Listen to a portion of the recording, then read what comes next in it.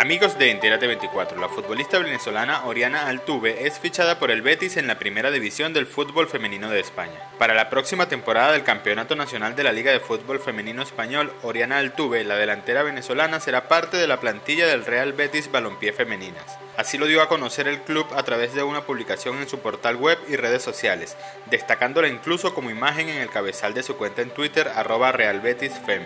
Oriana debutó en el Caracas Fútbol Club como jugadora profesional a los 17 años. A mediados de 2016 jugó con el Colón Club de Fútbol, equipo con el que se proclamó campeona de Liga y Copa Libertadores.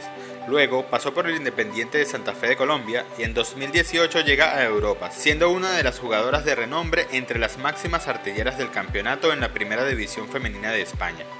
Te invitamos a visitar enterate24.com y seguirnos en las redes sociales. Entérate24, veracidad en la información.